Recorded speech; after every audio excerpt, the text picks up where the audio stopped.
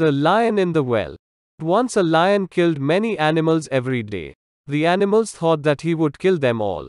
They went to the lion and said, Sir, please do not kill us. We shall send you one animal every day. The lion agreed, so every day an animal went to the lion. He ate it. One day it was a rabbit's turn. The rabbit was clever.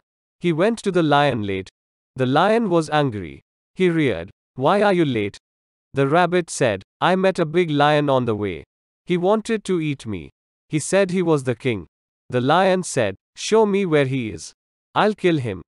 The rabbit led him to a well. The lion saw his image in the water.